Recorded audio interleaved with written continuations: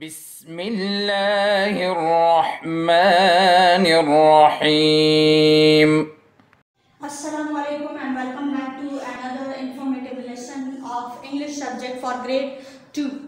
Uh, students, uh, today we are going to start the exercise of the rainbow. As you remember that we had finished the poem yesterday and uh, we had discussed all the important points and the new words in the poem and I hope that you have um, done your homework.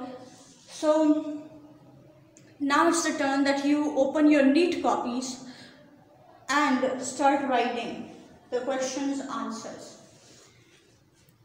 Here students I have written homework because you will do this task at home. Uh, write English, you will not write grade 2 here, you will write date here, date.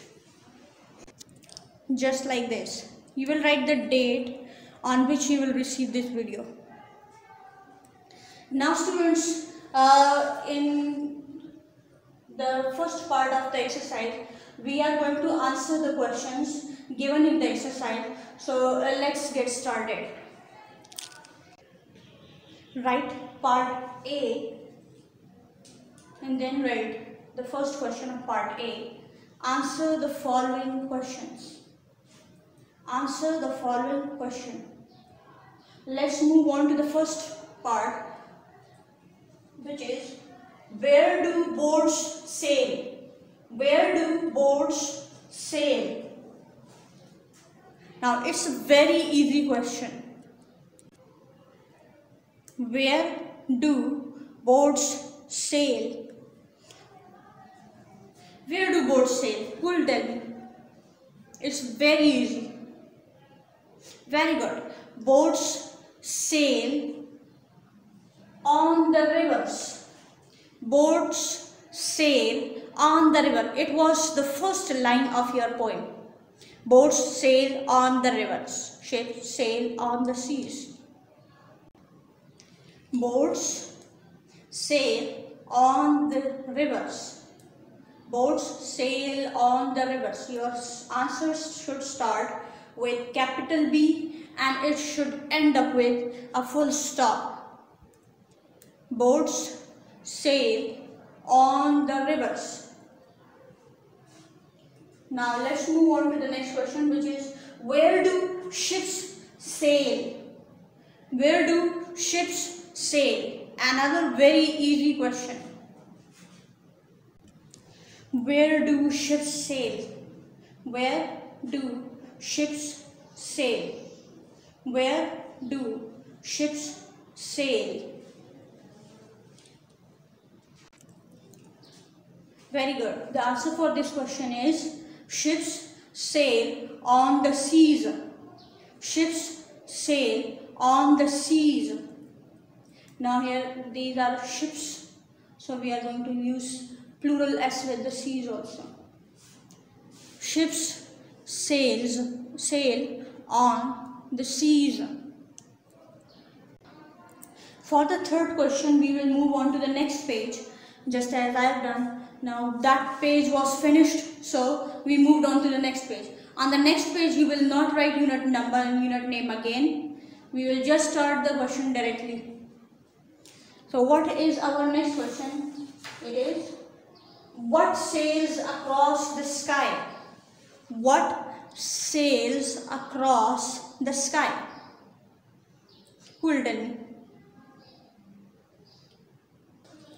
So this is the question what sails across the sky?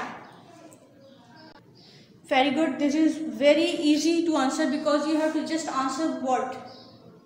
What? Clouds sail across the sky. Clouds sail across the sky. If we use S here, we will not use S here.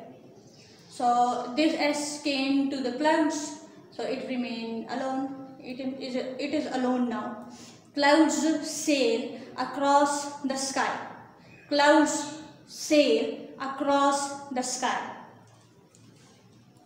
now let's move on to the next question which is what are the two prettiest things in the poem.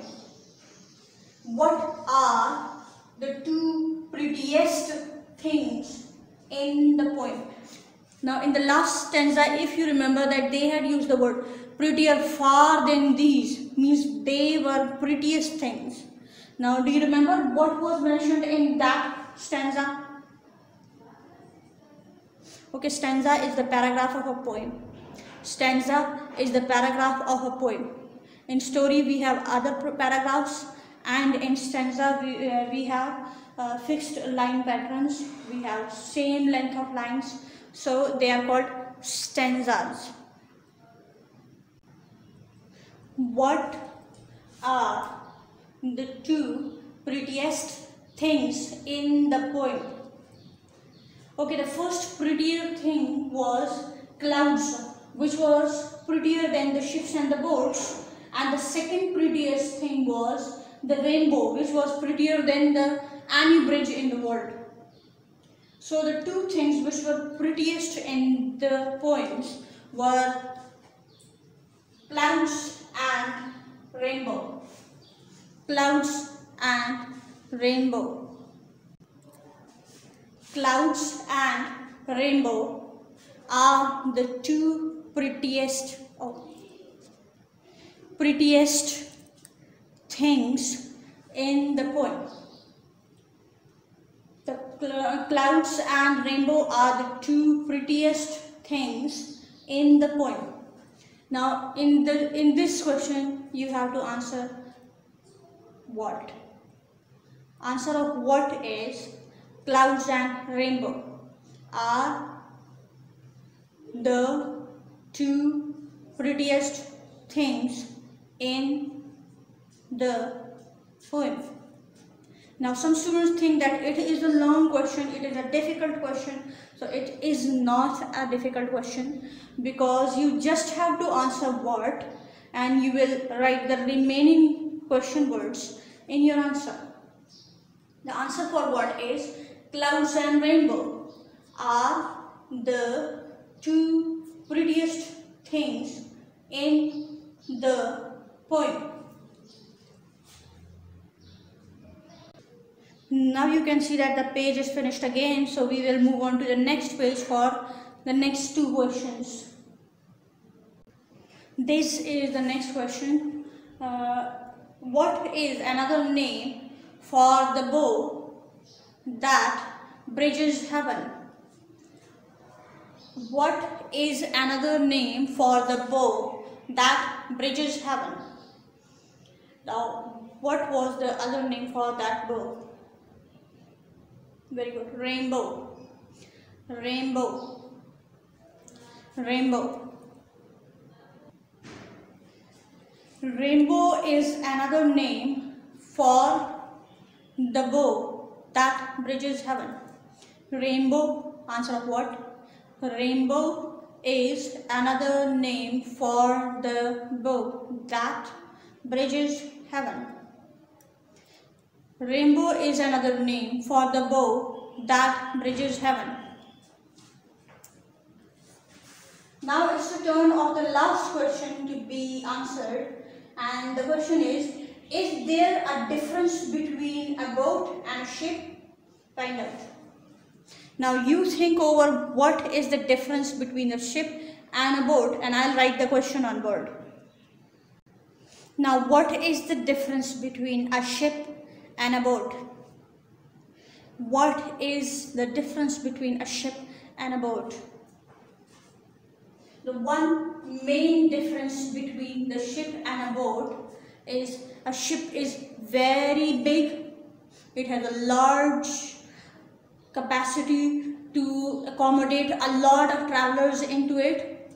So ship is very big. It has lots of rooms inside it and it gives you like a home like environment so ship is big and a boat is very small it is usually made of wood okay ship runs on engine. Ships run on engines but boats usually don't have engine. Now there are some modern some latest versions of boats which are which have engines but they still they are very small.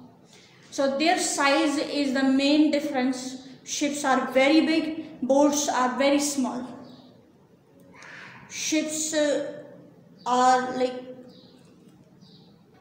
the most facilitated kind of boat and uh, boats are just boats. They just help you go from one place to another place but they are not giving you any facilities of home bed and food and everything. So uh, these are the major differences between ship and boat. One ship is big boat is small. Ship runs on engine. Boat doesn't have an engine. Ship can accommodate a lot of passenger. It can carry a lot of travelers but boat can accommodate only a few people. Ship is faster. Boat is slower. So but for you i'm going to make the answer very easy. We will not write all these differences. We will just write one difference and that is the ship is very big and the boat is very small. Okay this was all for today. This is your classwork as well as your homework. You have uh, you have to write all these uh, questions in your neat copies and uh, you will send them on whatsapp. Uh, one more thing that i want to tell you that be careful about the spellings that be very precise about them that in how many lines you have to write as, uh, an alphabet. Mm, be very careful about your handwriting and spellings. Don't make any mistakes. And draw finishing line at the end of every question as i did. And um, and try not to fit in a lot of words in one uh, line if your line can accommodate only four or five words don't try to fit in the remaining word okay? So your work should look neat and uh, tidy and don't try to fit more and more words in one line. Try to give enough space in between the words. There should be enough space in between the words and if it doesn't complete in one line you can move on to the next line. If it doesn't fit into one line you can move into the next line but don't make mess in your notebooks. Okay this was all for today. I hope you learned and enjoyed. Uh, wish you best of luck. Have a nice day. This was all for today.